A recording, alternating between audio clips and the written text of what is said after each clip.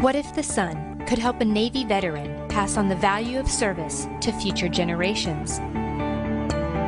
What if the sun could help a single mother lower her energy costs to better provide for her son? What if the sun could help a volunteer acquire skills to bring electricity to his homeland?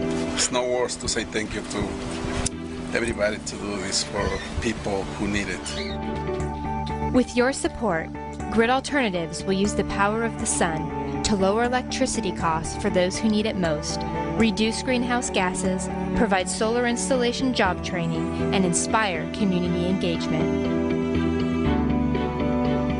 Since 2004, we have solarized 1,000 homes, provided $25 million in energy savings for low income homeowners, trained 7,000 volunteers, and saved 100,000 tons of carbon dioxide from entering the atmosphere.